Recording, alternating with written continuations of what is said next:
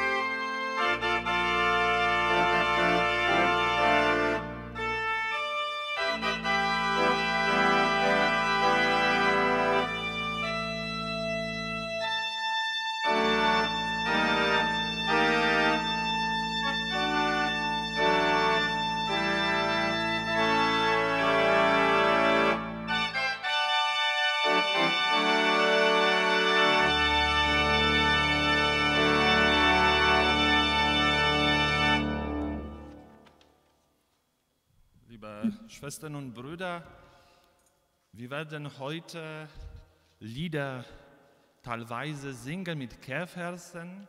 Alle Lieder werden vorgesungen. Wenn Sie Wallfahrtsheft haben oder noch nicht, können Sie im Wallfahrtslädchen hier vor der Kirche noch bekommen. Zu Beginn Wallfahrtsheft Nummer 6 die erste und zweite Strophe aus den Dörfern und aus Städten. Wir singen nur Refrain, eingeladen zum Fest des Glaubens.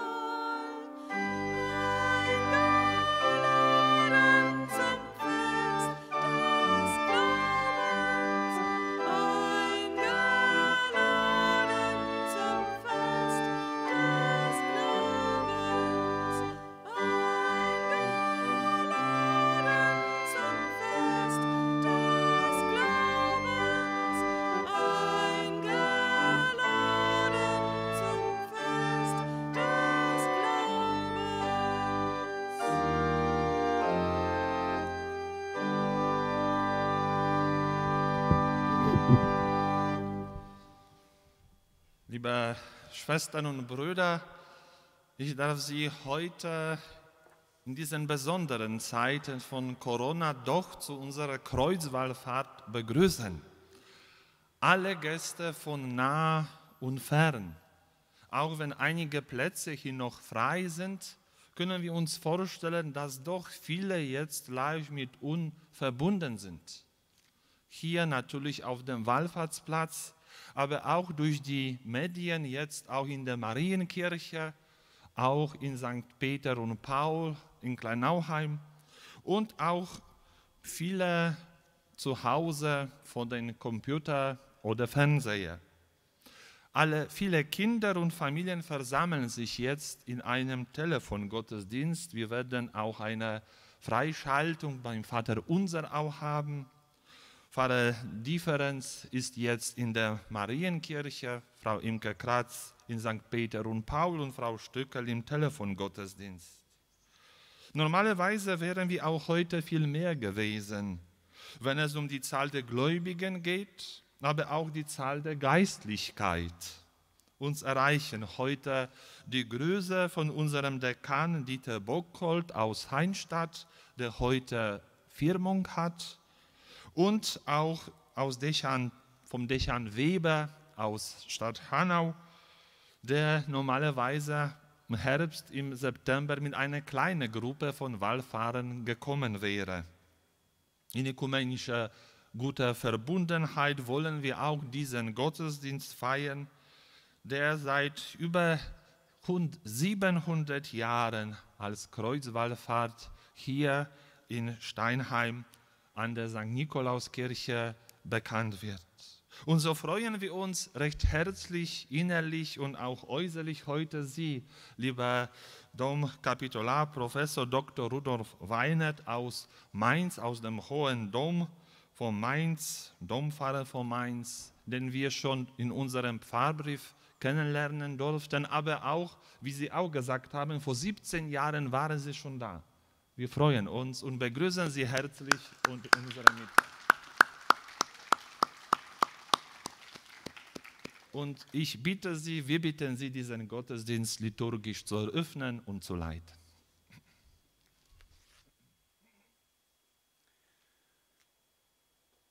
beginnen wir diesen Festgottesdienst im Zeichen des Kreuzes. Im Namen des Vaters und des Sohnes und des Heiligen Geistes. Im Kreuz ist Heil, im Kreuz ist Leben, im Kreuz ist Hoffnung. Der Herr sei mit euch. Liebe Schwestern und Brüder, liebe Kinder, liebe junge Menschen, ich danke für die freundliche Begrüßung und bin sehr gerne heute Morgen hierher gekommen. Jahr 2003 war ich zum ersten Mal hier und habe eine sehr gute Erinnerung an diese schöne Wallfahrt. Ich war auch in den vergangenen Tagen immer mal wieder bei Ihnen, vor allen Dingen bei dem Kreuz, dem christlichen Zeichen von uns Christen. Wir haben das Kreuz hereingetragen, das wundertätige, jahrhundertealte, mit dieser Stadt verbundene Kreuz. Wir haben es aufgerichtet und wir beginnen es jetzt zu feiern und uns zu ihm zu bekennen. Und so rufen wir zu ihm, den dieses heilige Kreuz symbolisiert und der jetzt in unserer Mitte ist. Herr Jesus Christus, für uns am Kreuz gestorben, Kyrie eleison.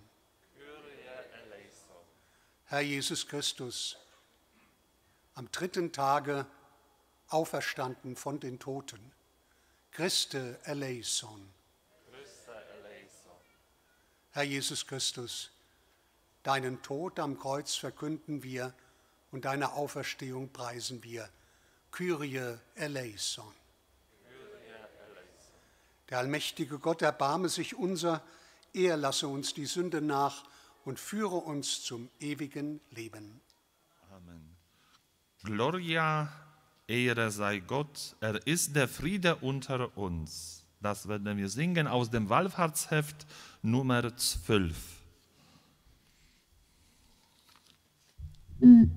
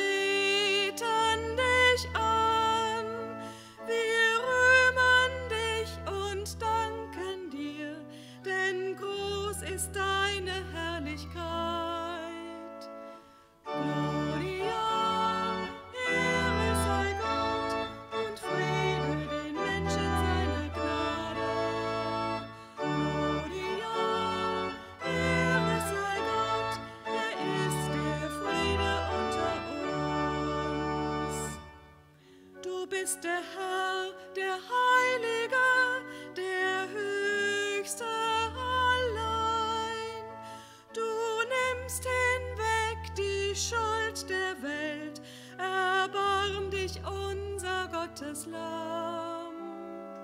Gloria, Ehre sei Gott und Friede den Menschen seiner Gnade. Gloria, Ehre sei Gott, er ist der Friede unter uns. Lasset uns beten.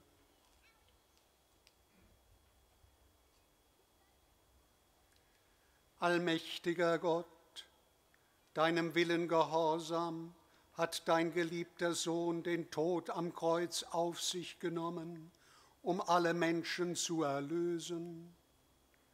Gib, dass wir in der Torheit des Kreuzes deine Macht und Weisheit erkennen und in Ewigkeit teilhaben an der Frucht der Erlösung. Darum bitten wir durch Jesus Christus, deinen Sohn, unseren Herrn und Gott, der in der Einheit des Heiligen Geistes mit dir lebt und herrscht in alle Ewigkeit.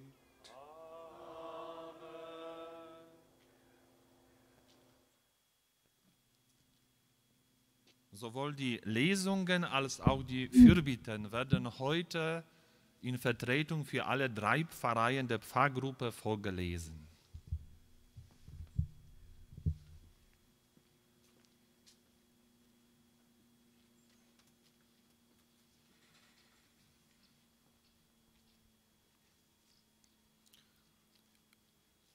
Wenn jemand von einer Schlange gebissen wurde und zu der Kupferschlange aufblickte, blieb er am Leben.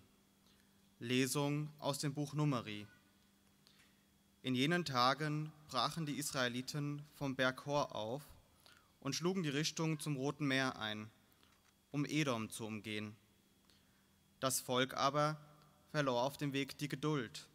Es lehnte sich gegen Gott und gegen Mose auf und sagte, Warum habt ihr uns aus Ägypten herausgeführt? Etwa damit wir in der Wüste sterben? Es gibt weder Brot noch Wasser, und es ekelt uns vor dieser elenden Nahrung. Da schickte der Herr Feuerschlangen unter das Volk. Sie bissen das Volk, und viel Volk aus Israel starb. Da kam das Volk zu Mose und sagte, wir haben gesündigt denn wir haben uns gegen den Herrn und gegen dich aufgelehnt. Betet zum Herrn, dass er uns von den Schlangen befreit. Da betete Mose für das Volk. Der Herr sprach zu Mose, Mach dir eine Feuerschlange und hänge sie an einer Stange auf. Jeder, der gebissen wird, wird am Leben bleiben, wenn er sie ansieht. Mose machte also eine Schlange aus Kupfer und hängte sie an einer Stange auf.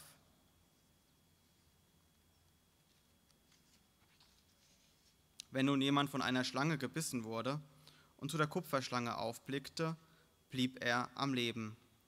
Wort des lebendigen Gottes.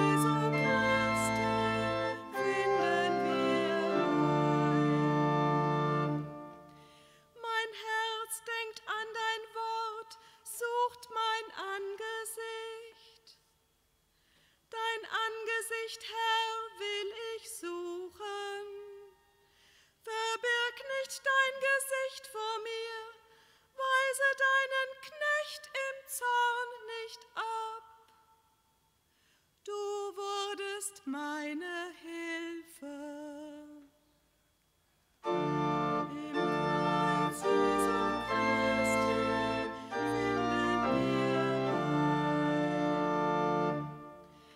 Ich aber bin gewiss zu schauen, die Güte des Herrn im Land der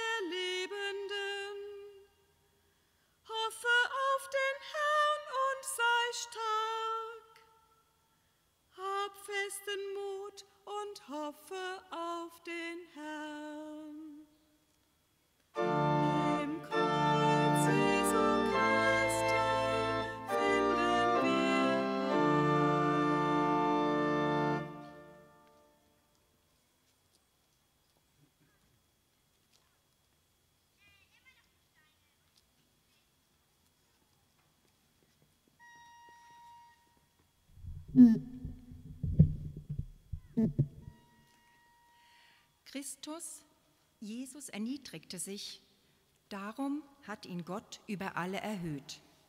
Lesung aus dem Brief des Apostels Paulus an die Gemeinde in Philippi. Christus Jesus war Gott gleich, hielt aber daran nicht fest, Gott gleich zu sein, sondern er entäußerte sich und wurde wie ein Sklave und den Menschen gleich.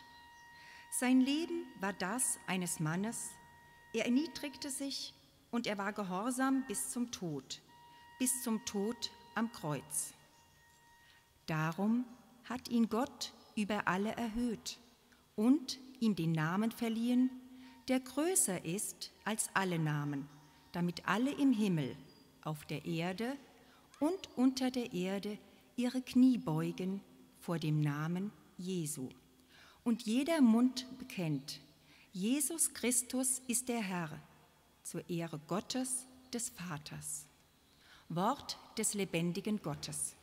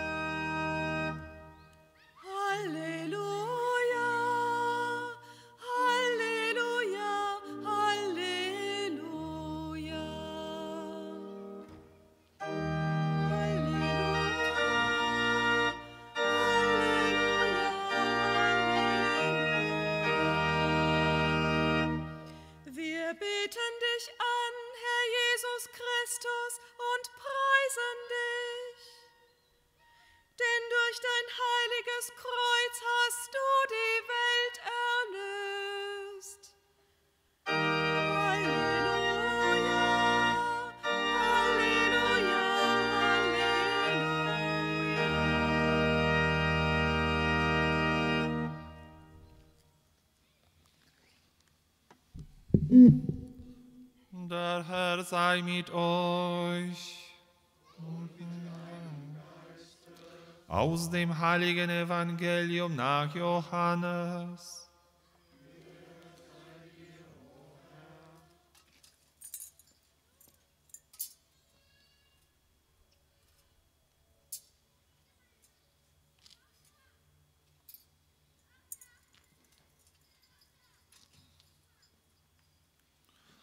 In jener Zeit sprach Jesus zu Nikodemus, Niemand ist in den Himmel hinaufgestiegen, außer dem, der vom Himmel herabgestiegen ist, der Menschensohn.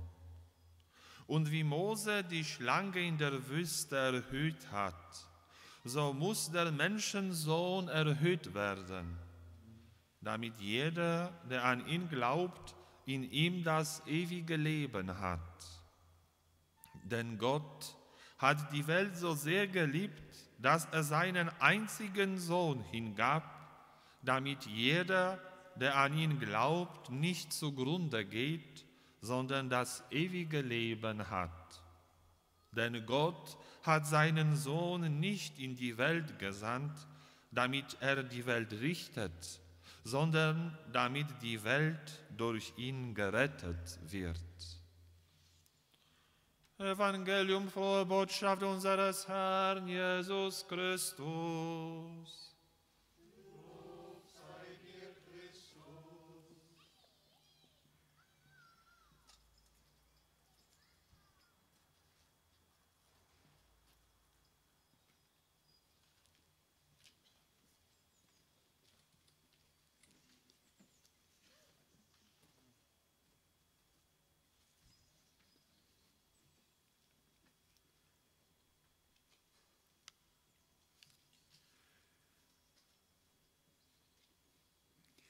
Liebe Schwestern und Brüder, liebe Wallfahrer, liebe Kinder, liebe junge Menschen, liebe Schwestern und Brüder an den Fernsehern. Ich weiß noch, was ich vor 17 Jahren gepredigt habe. Das ist nicht die gleiche Predigt.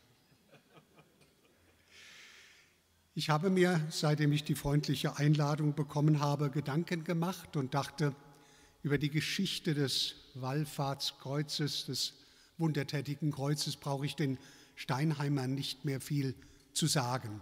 Auch über das Fest Kreuzerhöhung am 14. September nicht mehr, sondern ich wollte auch vielleicht gar keine klassische Predigt halten, vielmehr so eine Besinnung auf das Kreuz.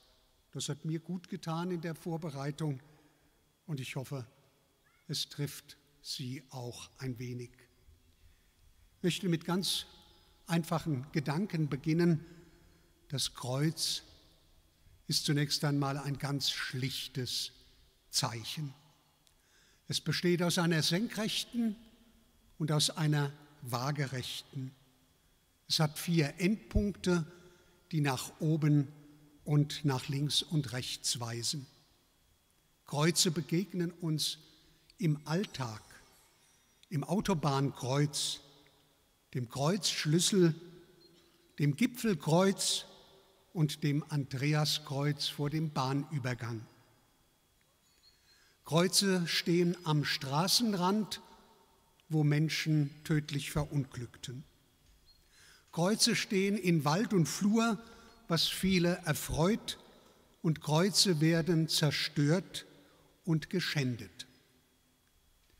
Das christliche Kreuz, das vereint all diese verschiedenen Symbolebenen.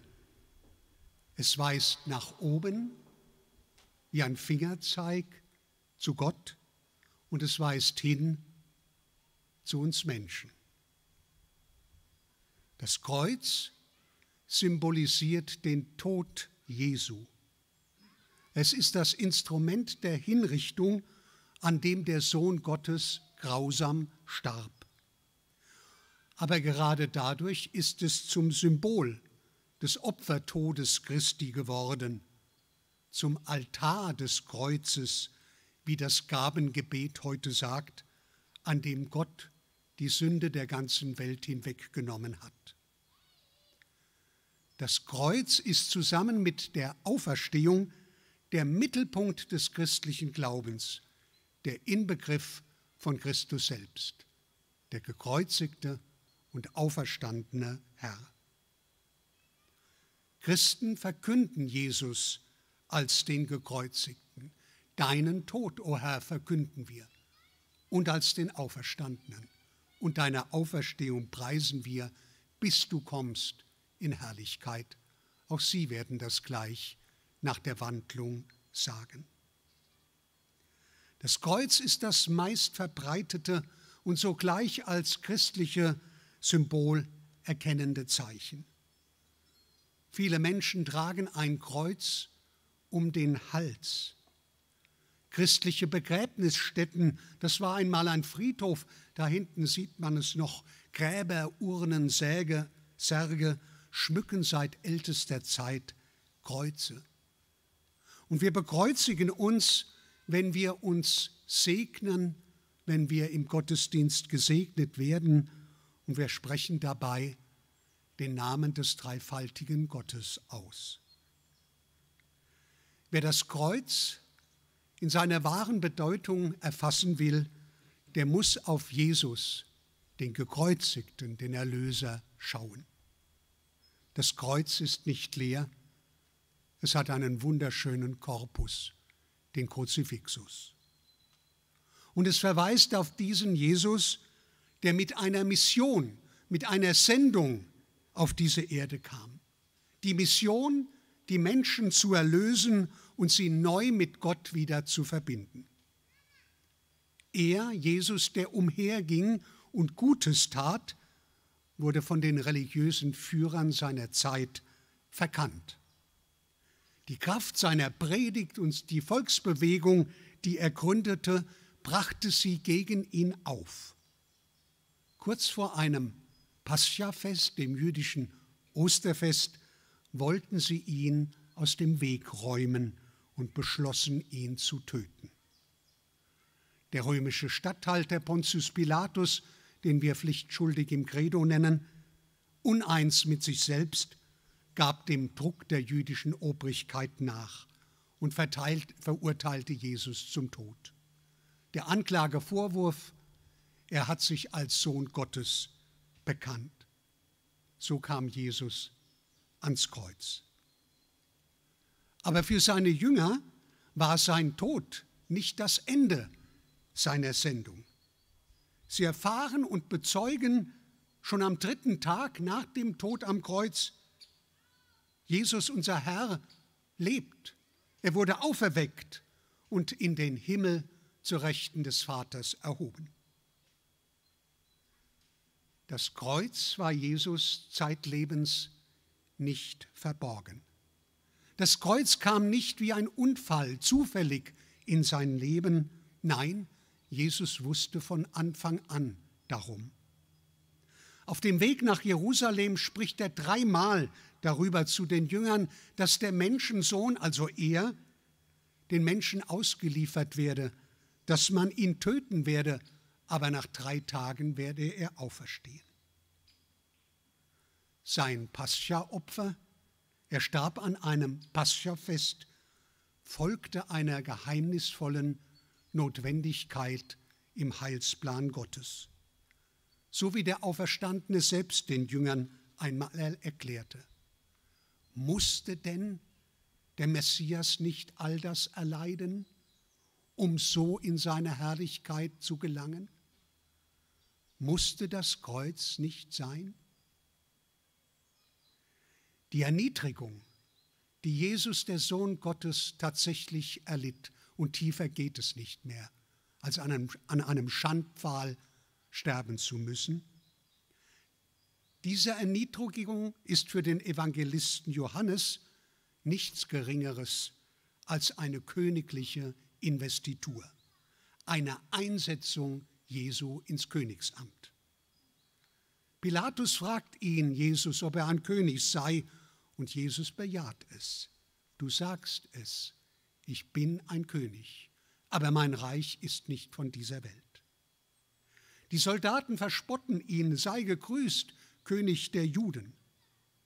Und die Anordnung des Pilatus trägt das Kreuz, die Inschrift Inri, Jesus von Nazareth, König der Juden. Jesu Kreuz war ein freiwilliges Kreuz, ein freiwilliges Opfer. Seine Hingabe an diesem Kreuz ist nur zu verstehen als Ausdruck seiner großen Liebe zu uns Menschen und zu seinem Vater.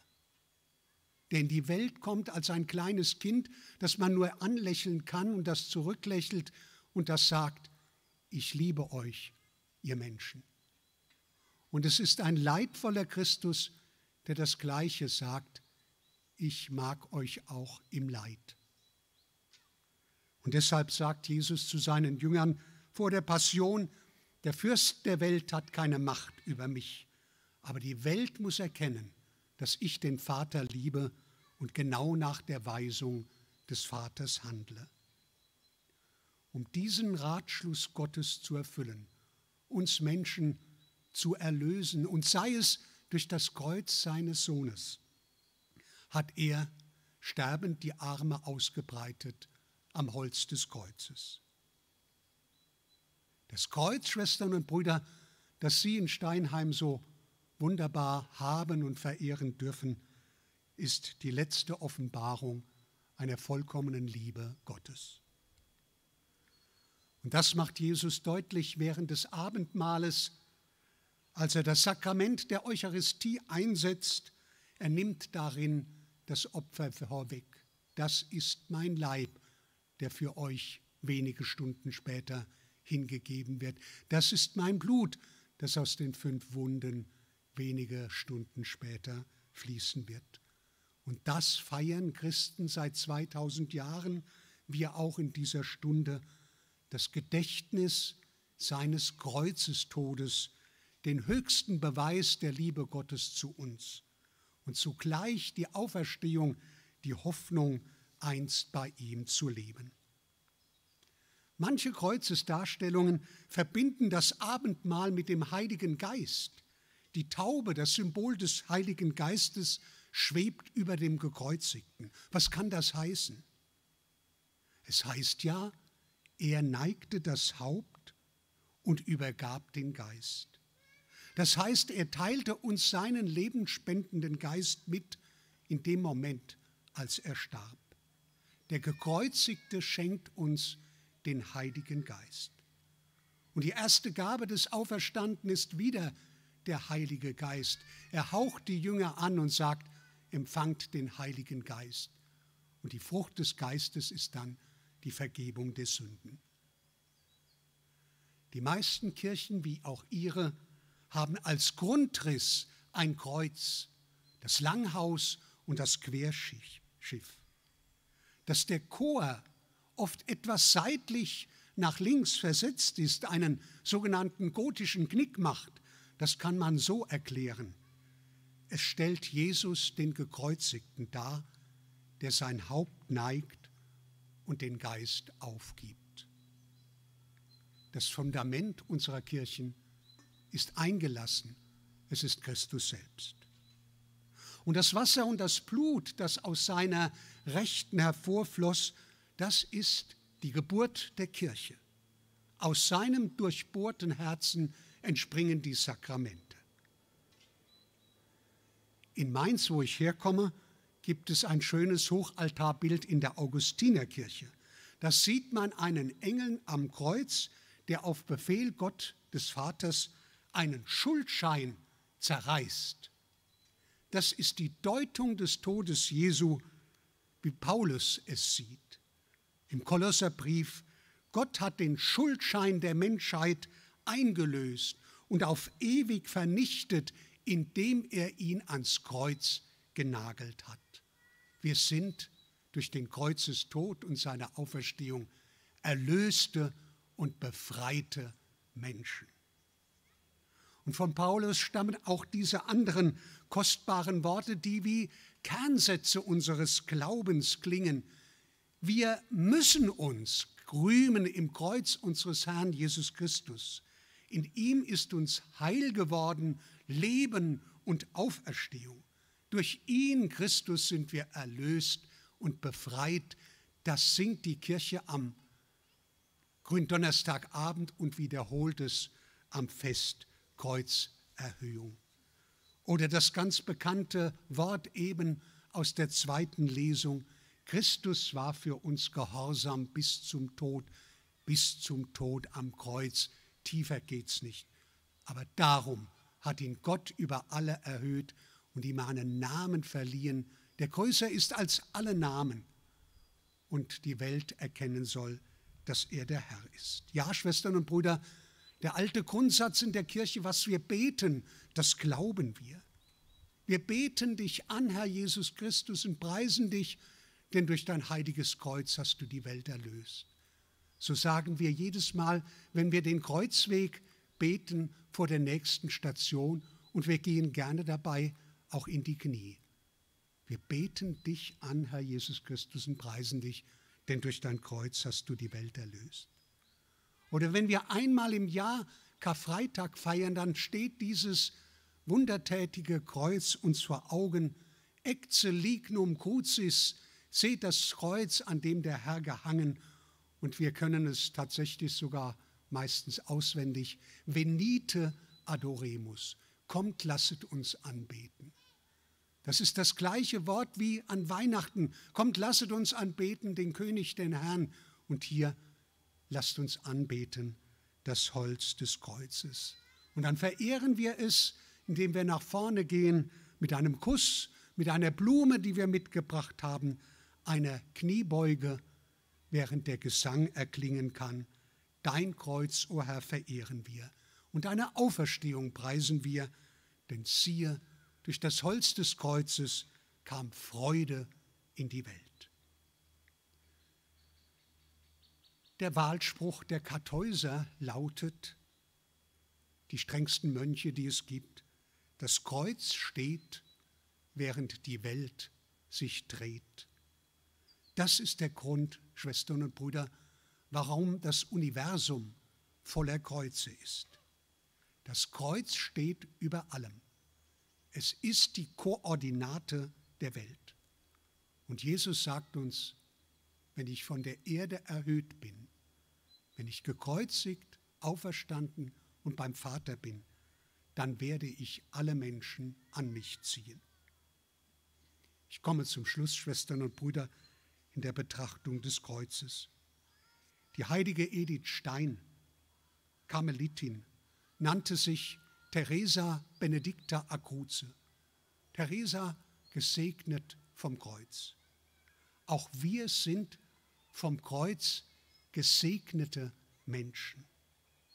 Wir schauen auf den, den sie durchbohrt haben. Und er sagt uns, ich liebe euch, ich mag euch leiden. Lieben wir ihn auch. Bekreuzigen wir uns oft, am Morgen, am Abend. Segnen wir uns auch gegenseitig, die Eltern, die Kinder, die Kinder, die Eltern und Großeltern. Es ist das Heilszeichen.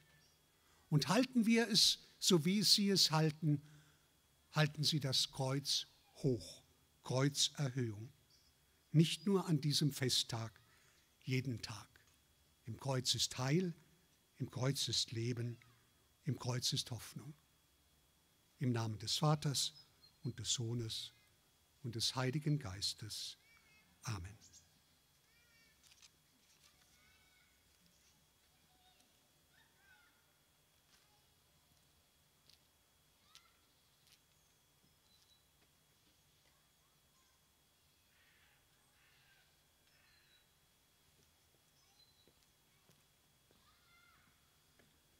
In dem Credo-Lied werden wir unseren Glauben bekennen in alten kirchlichen Sprache, Credo in unum Deum in eine moderne Melodie.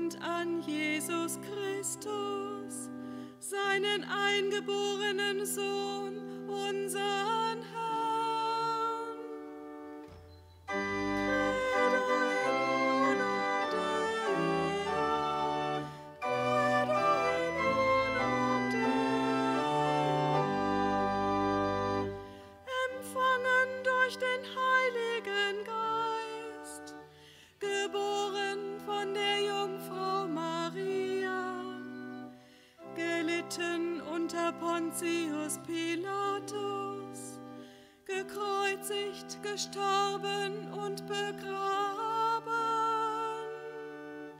Credo in unum Deum, credo in unum Deum.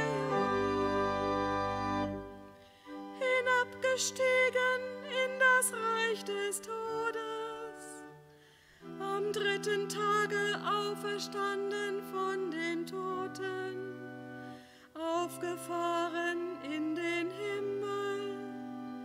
Er sitzt zu Rechten Gottes, des allmächtigen Vaters.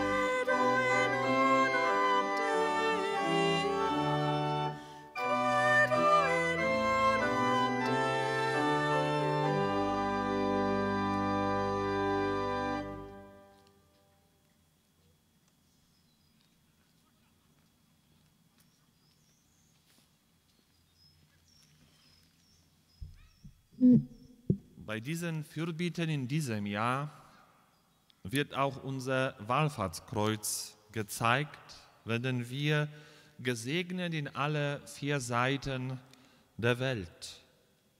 Denn Jesus Christus, unser Gott und Heiland, ist heute, morgen und in Ewigkeit, in dieser Zeit der Belastung und der Unsicherheit für unser Land und für die ganze Welt. So kommen wir zu ihm und bitten ihn voll Vertrauen.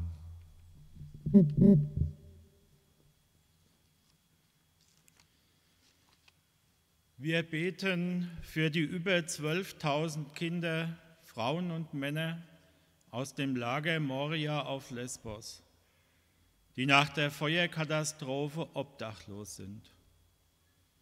Und für die Menschen, die alles verloren haben. Für Politikerinnen und Politiker in der Europäischen Werteunion. Christus, höre uns. Christus, höre uns. Wir beten für Menschen überall auf der Welt, die unter Natur- bzw. Klimakatastrophen leiden. Für alle, die an der Corona-Pandemie leiden, weil sie infiziert oder krank sind, weil sie Ansteckung befürchten und andere zu leichtfertig finden. Und für alle, die, andere, die für andere Menschen da sind, die Menschen pflegen oder auf ihrem Weg begleiten. Und für alle, an die wir jetzt in einer kurzen Stille denken.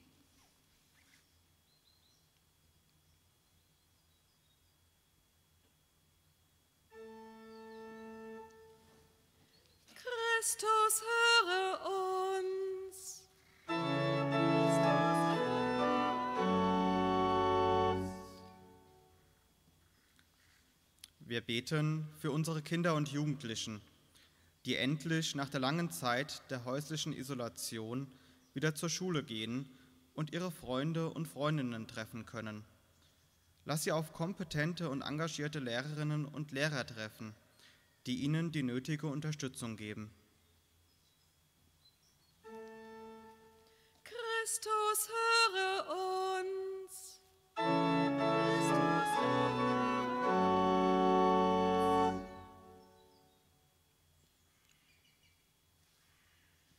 Wir beten für alle Christinnen und Christen, die voller Hoffnung auf ökumenische Eintracht warten. Lass sie diesen Weg in Liebe, Frieden und im Vertrauen auf deine Führung weitergehen. Christus, höre uns.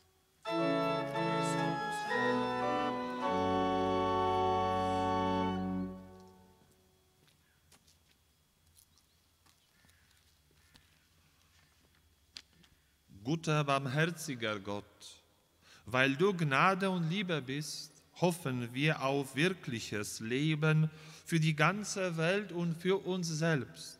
für unsere Kirche weltweit und für unser Bistum Mainz und unsere Pfarrgruppe Steinheim-Kleinauheim. Wir danken dir und loben dich heute, morgen und bis deine Ewigkeit. Amen. Und die heutige Kollekte wird erst zum Schluss gesammelt, beziehungsweise können Sie beim Ausgang, wenn Sie Wallfahrtsbrötchen bekommen, auch in den Korb etwas leise werfen.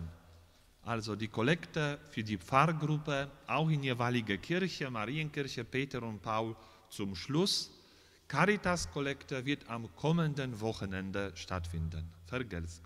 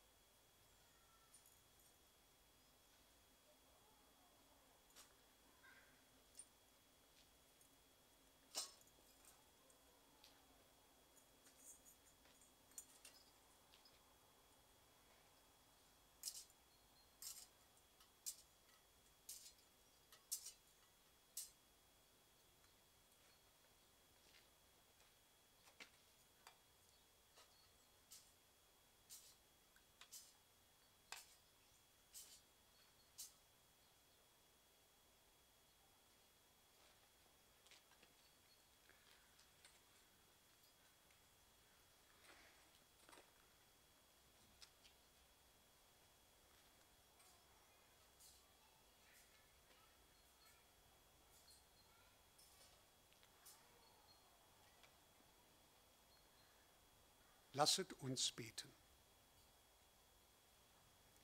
Herr unser Gott, dieses heilige Opfer hat auf dem Altar des Kreuzes die Sünde der ganzen Welt hinweggenommen. Es mache auch uns frei von aller Schuld. Darum bitten wir durch Christus unseren Herrn. Der Herr sei mit euch. Und mit deinem Erhebet die Herzen. wir haben sie beim Herrn. Lasset uns danken dem Herrn, unserem Gott.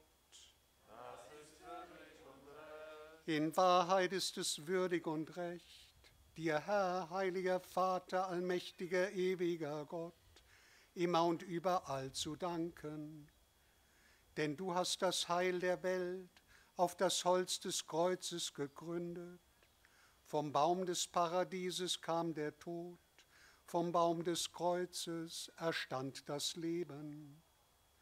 Der Feind, der am Holze gesiegt hat, wurde auch am Holze besiegt durch unseren Herrn Jesus Christus.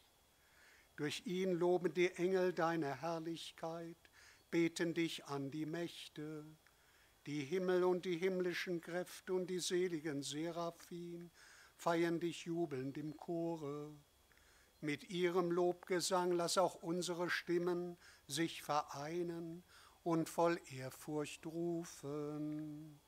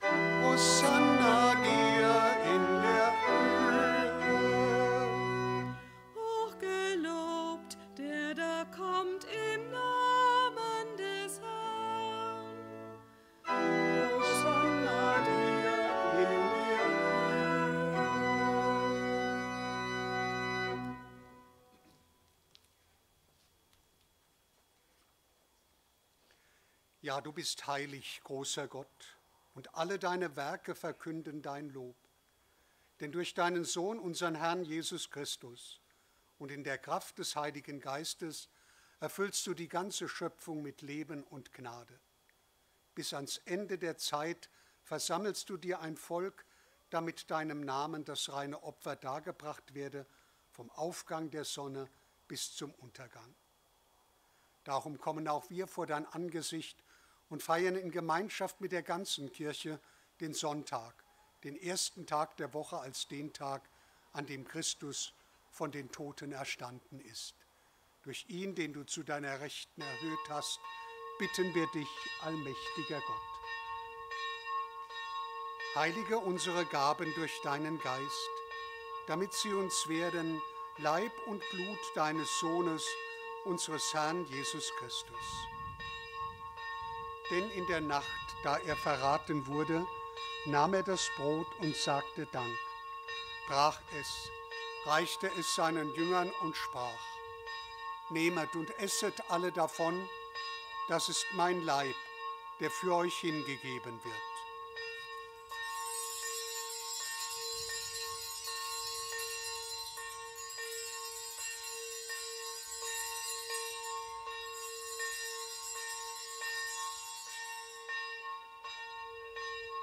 Ebenso nahm er nach dem Mahl den Kelch, dankte wiederum, reichte ihn seinen Jüngern und sprach, Nehmet und trinket alle daraus, das ist der Kelch des neuen und ewigen Bundes. Mein Blut, das für euch und für alle vergossen wird zur Vergebung der Sünden. Tut dies zu meinem Gedächtnis.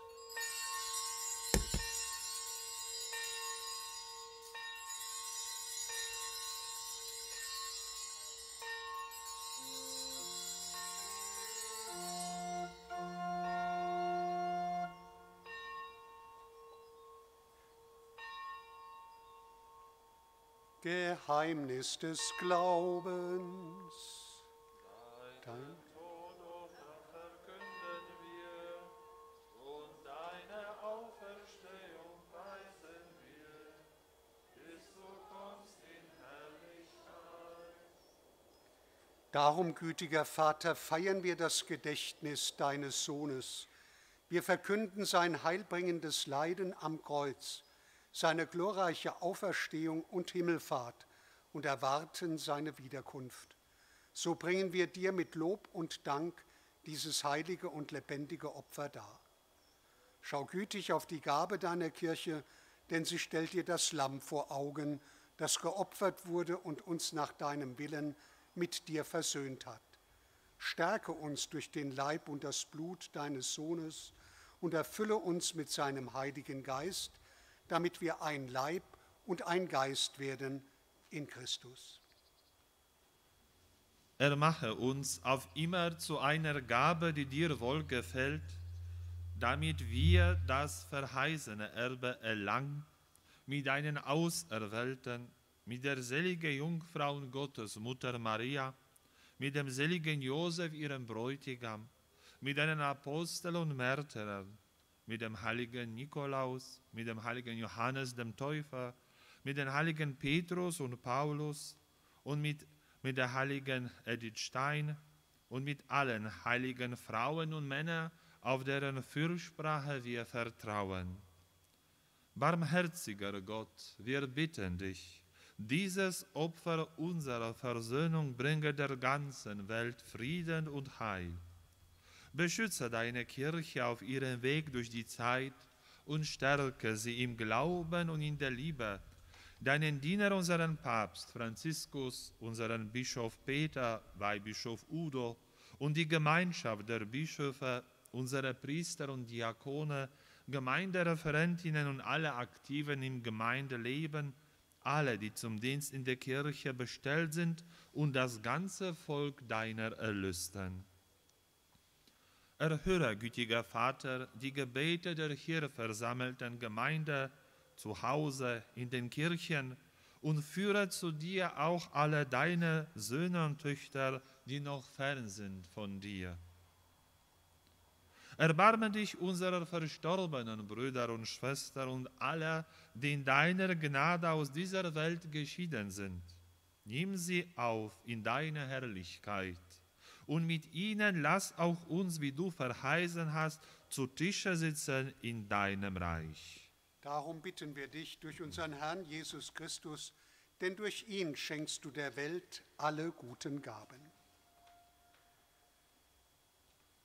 Durch ihn und mit ihm und in ihm ist dir Gott allmächtiger Vater in der Einheit des Heiligen Geistes alle Herrlichkeit und Ehre, jetzt und in Ewigkeit.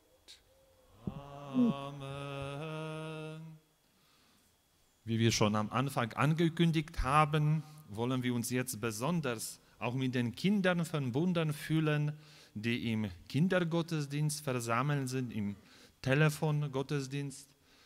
Jetzt sehen wir, hören wir, ich bitte auch um den, das Telefon, das Sie anschalten. Und wir grüßen Kinder und Frau Stöckel, unsere Gemeindereferentin, und hören auch ein Wort von Ihnen. Kannst was sagen? Wir freuen uns. Wir freuen uns. Ja. Ja, wir freuen jetzt uns sehr, dass wir jetzt auch mit dabei sind. Wir warten schon ein bisschen und singen ganz viele Lieder. Nämlich zu Hause dürfen wir ja Lieder singen. Und wir haben die Geschichte von der Kreuzwallfahrt und von dem Kreuz heute gehört und eben auch den Satz mitgenommen, dass Gott zu uns sagt, das schaffen wir oder du schaffst das. In Situationen, wo wir denken, das ist aussichtslos. So, dann äh, wollen wir danke für die Geduld und dass wir gemeinsam jetzt äh, äh, das Vater unser Gebet sprechen. Oder möchten Sie noch etwas dazu sagen, Frau Stöckel? Vielleicht die Kinder, dass ihr nochmal Hallo sagt, dass ihr da seid. Sagt gern. doch mal. Hallo.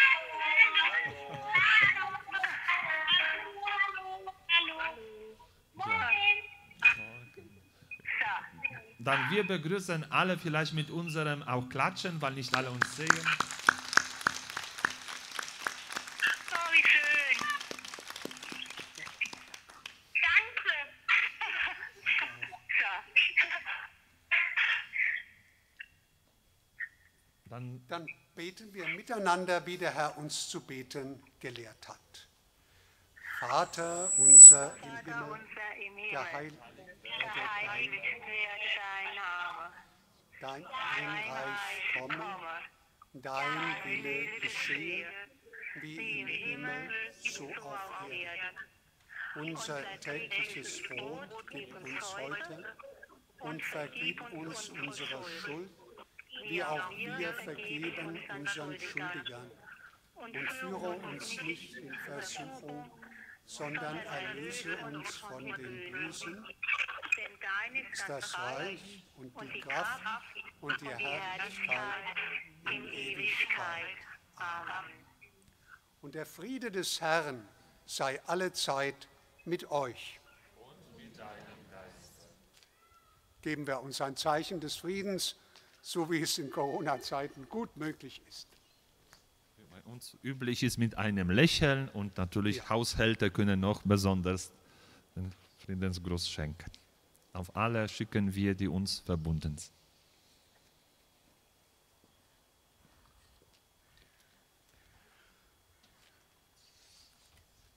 Und wir sprechen gemeinsam, Lamm Gottes, du nimmst hinweg die Sünde der Welt. Erbarme dich unser. Lamm Gottes, du nimmst hinweg die Sünde der Welt. Erbarme dich unser. Lamm Gottes, du nimmst hinweg die Sünde der Welt. Gib uns deinen Frieden. Nachdem wir hier am Altar Kommunion empfangen haben, vorher werden wir noch gemeinsam antworten auf Ruf des Domkapitulars Leib Christi. Amen. Die, den Kommunionempfang erfolgt dann in keinem Dialog. Wir haben schon Leib Christi gehört, Amen geantwortet. Sie bleiben bitte in den Bänken sitzen bzw. stehen. Wir kommen auf Sie zu. Wir beide mit dem Domkapitular beginnen in der Mitte und Kommunionhelferinnen rechts an der rechten und linken Seite. Dazu sind auch eingeladen die Personen, die jetzt in Marienkirche versammelt sind und auch in St. Peter und Paul, auch gleich zur Heiligen Kommunion. Und, eine Praxis aus Mainz noch aus dem Dom, wenn Sie die Hand weit ausstrecken und ganz flach machen, dann kann man die Hostie wunderbar auflegen. Und alle, die zu Hause sind, sind eingeladen zur geistigen Kommunion oder die nicht zur Kommunion jetzt gehen können, wie wir alle.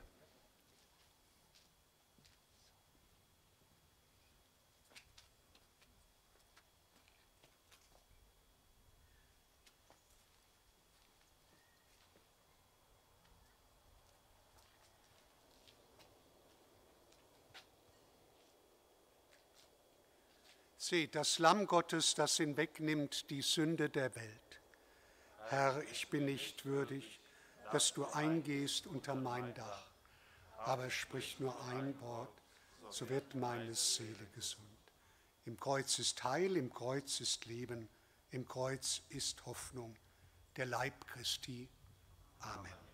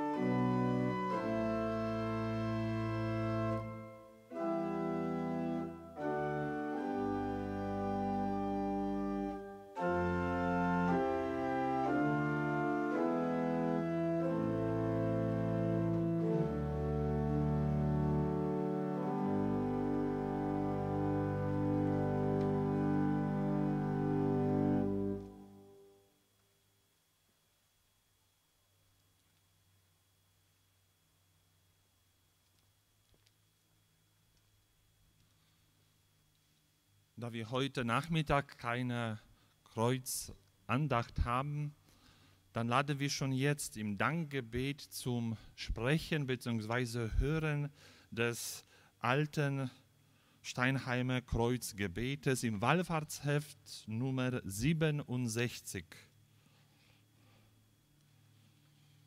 67 und nach diesem Gebet singen wir nur Kehrvers im Kreuz ist Heil, gemeinsam. Altes Steinheimer Gebet zum Heiligen Kreuz. Sei gegrüßt, o heiliges Kreuz, dein Einblick belebt meine Hoffnung, erinnert mich an alles, was Jesus für mich getan und gelitten hat.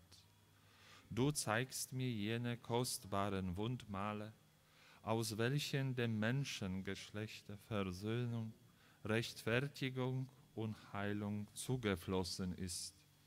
O möchte dein Bild meine Seele unauslöschlich eingedrückt bleiben, um mir zur Zeit der Trübsal Ergebung, bei Übung der Tugend Kraft, in der Versuchung Stärke, im Todeskampf Mut, Standhaftigkeit und Sieg zu verleihen.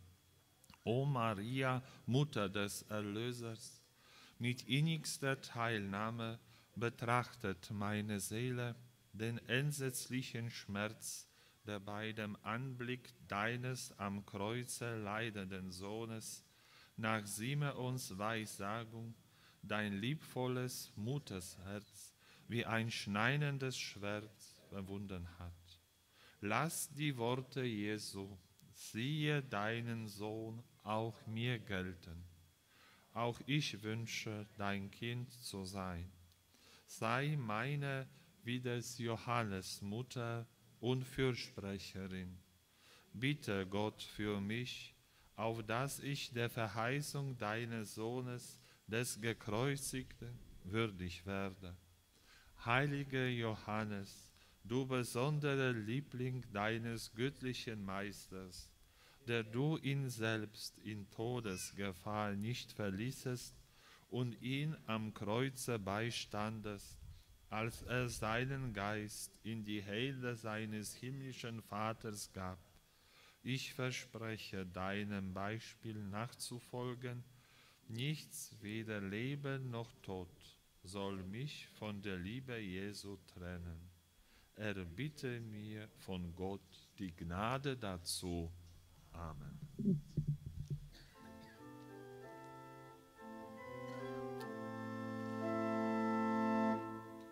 Im Kreuz ist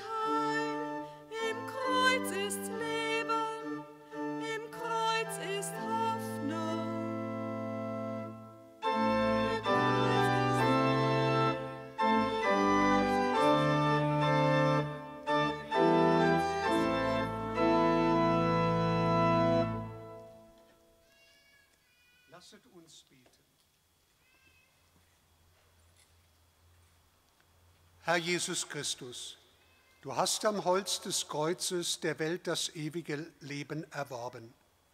Führe uns durch diese Feier, in der wir deinen geopferten Leib in der Eucharistie empfangen haben, zur Herrlichkeit der Auferstehung, der du lebst und herrschest in Ewigkeit. So neben, nehmen Sie bitte für einen Moment noch Platz. Auch wenn so schönes Wetter heute ist hier bei uns und wir hätten noch gerne länger bleiben können, was wir auch tun können und vielleicht sogar sollten, geht dieser Gottesdienst am Tage der Herbstwallfahrt zu Ende. Aber nicht selbst die Kreuzwallfahrt, weil wir heute alle herzlich einladen möchten, nachher nicht nur Wallfahrtsbrötchen mitzunehmen, auch in die Kirche zu gehen, vielleicht während des Tages. Wir möchten heute allen ermöglichen, das Wallfahrtskreuz in der Kirche zu sehen, zu meditieren. Bis 18 Uhr wird St. Nikolauskirche dazu einladen, bleibt dann geöffnet. Wenn Sie verschiedene Devotionalien haben möchten, unseren unser Wallfahrtslädchen besuchen wollen, gleich an der Kirche links auch zu finden. Herzliche Einladung gleich nach dem Gottesdienst. Und die Kollekte heute, wie wir gesagt haben, wird zum Schluss gesammelt. Die Körbchen stehen schon da beim Ausgang, der auch Eingang war. Können Sie gerne, aber bitte, das war auch bitte im Abstand mit Maskenschutz, wenn wir dann den Wallfahrtsplatz verlassen, damit wir auch die Abstände haben. Wir möchten Ihnen, lieber Domkapitular Professor Dr. Weinert, danken. Sie haben uns heute mitgenommen, dass wir das Geheimnis des Kreuzes nochmal besinnlich, innerlich wahrnehmen und wirklich im Kreuz das sehen, was ist. Diese Öffnung nach oben, unten, rechts und links, Bereitschaft zur Versöhnung, aber auch Hoffnung auf das Leben, Heil und Auferstehung. Wir brauchen jetzt aber momentan viel Hoffnung auch auf Gesundheit, dass wir gesund bleiben. Und ich denke und hoffe, dass wir genau das Leben auch weiterhin haben werden und in Fülle haben werden. Dank Ihren Worten vergelt's Gott. Schön, dass Sie heute bei uns sind.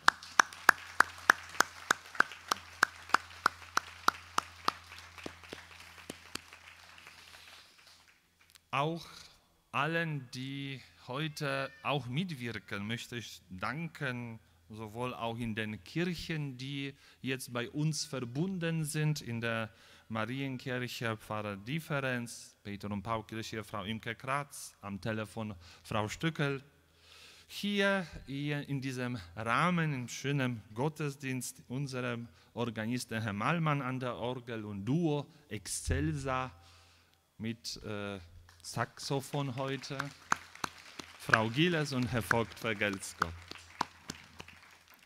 Allen liturgischen Diensten aus allen drei Pfarreien, auch Fahnenträger von KAB, allen technischen Diensten, die in allen drei Pfarreien aktiv waren und hier St. Nikolaus auch besonders schon gestern und heute mehrere Stunden, wirklich vergelt's Gott.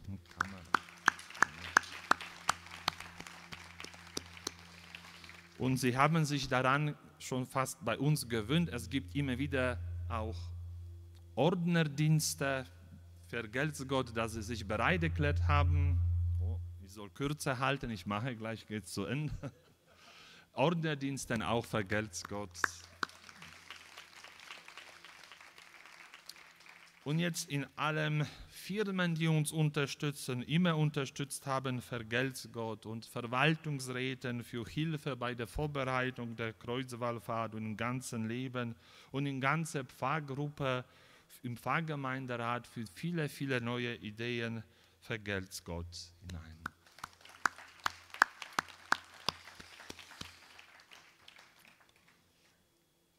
Wir hätten normalerweise im Herbst gleich nach dem Gottesdienst Möglichkeit gehabt, Süppchen zu essen, das immer sehr gut war.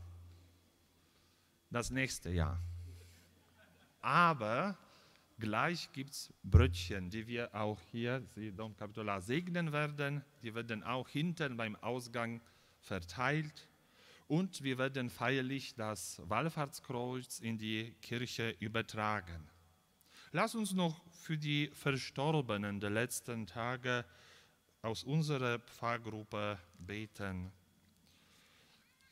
Beten wir für Herrn Bruno Disser, verstorben gestern in der Nacht, Schönbodenstraße 22. Der Tag der Beerdigung wird noch bekannt gegeben.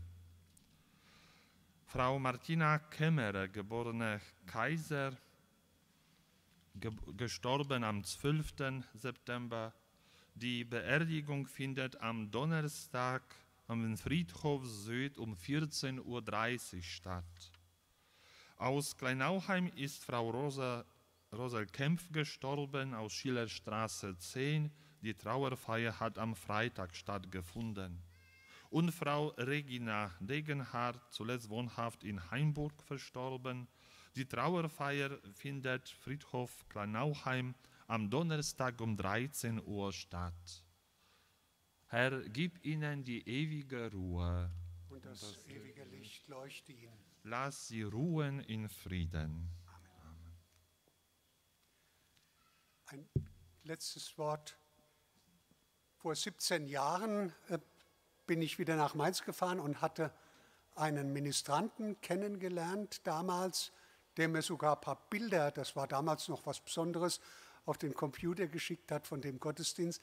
Und das war der Ministrant Konstantin Illert. Der stammt von hier, wie Sie vielleicht wissen, von St. Johannes. Und wie so schön ist, viele Jahre später tauchte er wieder auf, jetzt in Mainz.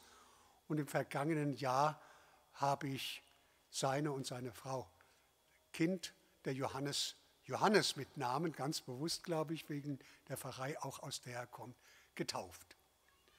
Eine schöne Verbindung, die mich immer wieder auch mit Steinheim und mit ihm verbindet, ein ganz großer junger Mann. Danke möchte ich auch sagen für den, dass wir miteinander Gottesdienst so feiern durften und dass der Himmel offen ist. Ihnen alles Gute und Adieu und auf ein Wiedersehen in Mainz, in Steinheim in 17 Jahren. Segnen? Jetzt werden noch die Wallfahrtsbrötchen gesegnet. Wir bitten dich, Herr, segne dieses Brot, stille unseren Hunger und stärke uns. Hilf, dass wir nicht nur an uns selbst denken, sondern bereit sind, anderen zu helfen und geschwisterlich zu teilen. Lass uns in der Gemeinschaft mit allen Menschen deine Vatergüte erfahren. jetzt und in alle Ewigkeit.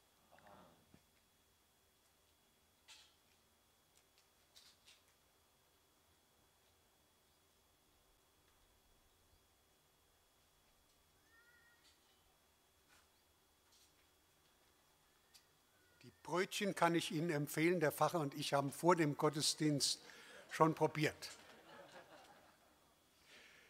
Ja, wir dürfen den Segen erbitten mit dem. Ja. Zum Schluss, nach dem Segen, wird auch Lied aus dem Wallfahrtsheft vorgesungen. In diesem Zusammenhang natürlich noch Dankeschön unserer Kantorin heute, die viel arbeitet, Frau Dr. Uschnei Petz, vergelt's Gott auch für den Lied. Aus dem Wallfahrtsheft Nummer 49. Christus Sieger, Christus König, Christus in Ewigkeit. Wir singen Refrain, wird vorgesungen.